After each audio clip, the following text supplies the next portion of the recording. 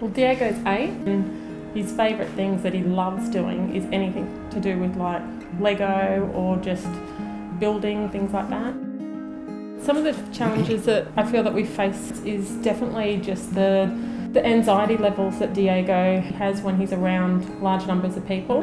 Things like eating, textures, smells. Brushing of teeth. Um, now that was just wouldn't happen things that we take for granted can be overwhelming for Diego, which is a, a, common trait of, of autism. Diego's behaviour since being a part of Northcott and working with them has dramatically changed. Our life as a family has changed. Little things along the way was just helping find out why he was melting down and how we could overcome that. If I was going food shopping, obviously Diego just wouldn't come. So we sort of had to take that focus off everything that he was focusing on and just bring it back to okay, we're here for just a quick trip.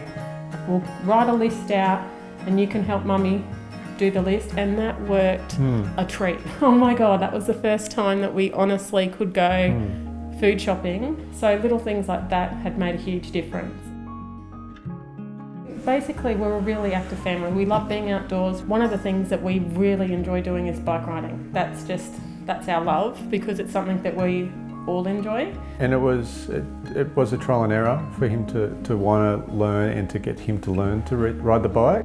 But essentially what had happened when he started to learn, um, that opened up a whole new um, area for something for us to do on the weekends. Um, and that really um, made a big difference too when we all come back as a family. It was like, wow, we all went out together.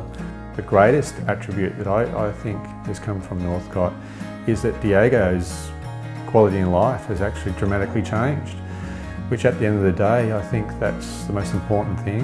And Northcott has certainly done that.